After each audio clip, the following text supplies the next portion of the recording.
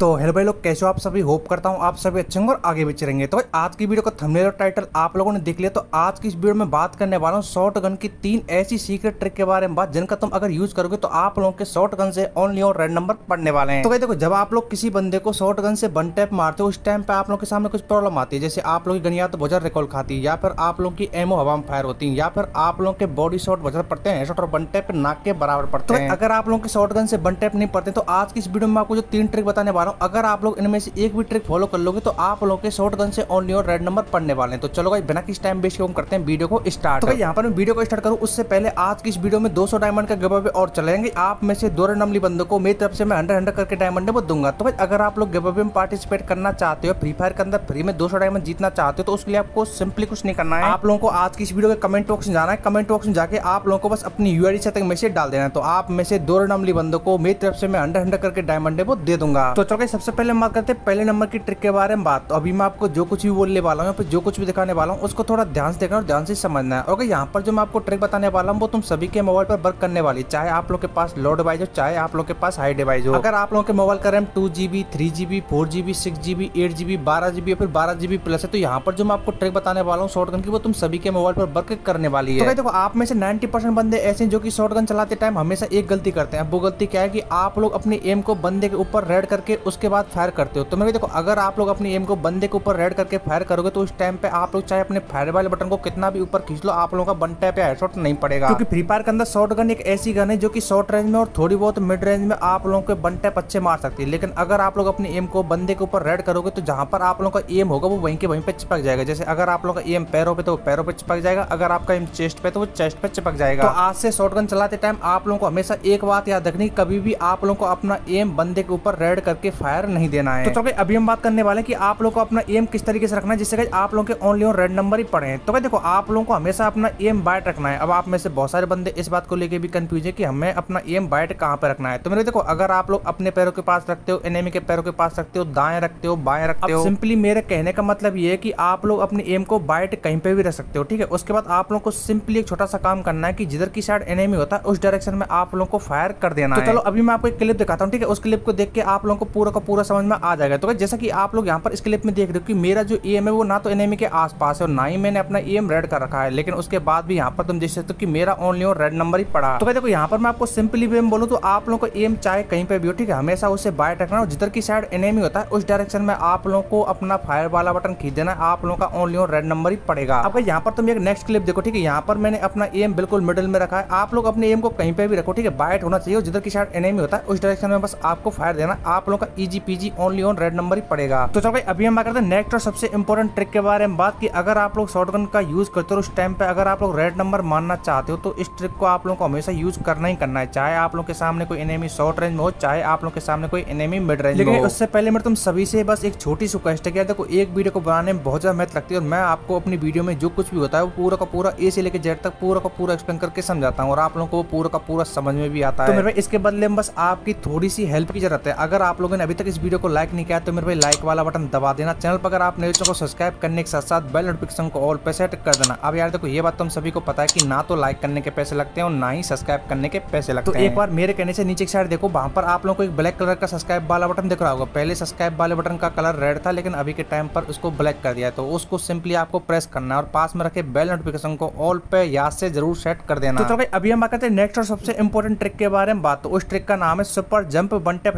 trick अब आप में से बहुत सारे बंदे मेरे को कमेंट कर रहे थे कि मन भाई हम जंप करके वन टेप मारते तो उस टाइम पे भी हमारा शॉर्ट गन से वन टैप नहीं पड़ता है। तो चलो भाई अभी हम बात करते हैं कि ये ट्रिक है वो किस तरीके से वर्क करती है। तो क्या देखो इसके लिए आपको सिंपली कुछ नहीं करना है। सबसे पहले आप लोगों को जंप करना है। जंप करने के बाद आप लोगों को अपना जो एम होता है उसे नीचे की साइड लेके आना है। देन उसके बाद जिधर की साइड एनिमी होता है उस डायरेक्शन में आप लोगों को फायर कर देना है। तो चलो अभी मैं आपको इसे थोड़ा सा इजी वे में समझाता हूँ कि जैसे ही आप लोग को एनिमी दिखता है उस टाइम पे सबसे पहले आप लोग को जंप करना है। जंप करते टाइम ही आप लोग को अपने हाथ में गन लेनी हो जो अपना एम होता है उसे आप लोग को नीचे की साइड रखना है और जिधर की साइड एनिमी होता है उस डायरेक्शन में आप लोग को फायर दे देना है। लेकिन इसके साथ ही आप लोग को एक बात और जो कि हमेशा याद रखनी कि जंप करने के बाद आप लोगों के पैर जब ज़मीन को टच होते हैं उसके बाद ही आप लोगों को फायर देना ठीक है? आप लोगों को हवाई हवा में फायर नहीं करना है नहीं तो आप लोग की गोलियाँ मिस फायर हो जाएँगी या फिर आप लोग का बन टैप नहीं पड़ेगा। भाई आप में से बहुत सारे बंदे ऐसे हैं जो कि फ्री फायर के अंदर ना तो टॉप करते हैं ना ही आप लोग के पास डायमंड लेने के पैसे हैं। तो आज की इस वीडियो के जैसे ही आप लोग कमेंट बॉक्स में जाओगे तो वहाँ पर मैंने एक वीडियो की लिंक पिन कर रखी जिसमें मैंने आपको प्रूफ के साथ बताया कि आप लोग फ्री फायर के अंदर फ्री में दो डायमंड किस तरीके से ले सकते हो। लेकिन उस वीडियो को देखने से पहले मैं तुम सभी से वापस से रिक्वेस्ट कर रहा हूँ कि यार देखो, हो सके तो लाइक और सब्सक्राइब वाला बटन दबा देना, क्योंकि यार एक वीडियो को बनाने में सच में बहुत ज़्यादा मेहनत लगती है तो अभी के लिए बाय बाय मिलते हैं नेक्स्ट वीडियो नेक्स्ट टॉपिक के साथ।